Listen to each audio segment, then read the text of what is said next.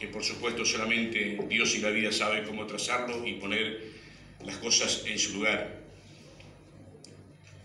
Señor presidente, como es de que se está llevando y se va a llevar a cabo el próximo 29 de febrero en nuestra ciudad, estará el Banco de Sangre Central de la provincia, con la gestión municipal y la participación del Hospital Marta Teodora Suar, el Club de Leones, el Rotary Club de Misiones, Salud y el CAP estarán de 8 a 16 en el edificio del Iturem en la jornada de donación voluntaria de sangre.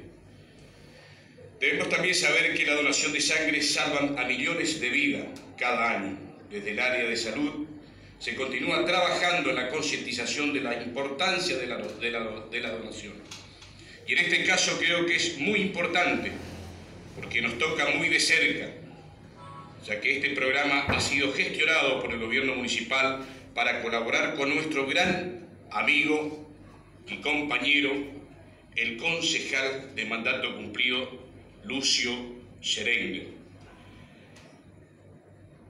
Quiera ello desde esta banca y de este cuerpo, señor presidente, a todos los familiares, por tal motivo hacemos extensivo la invitación a todos aquellos que estén en condición de hacer la donación, acercarse al ITUREM el día 29 de las 8 a las 16.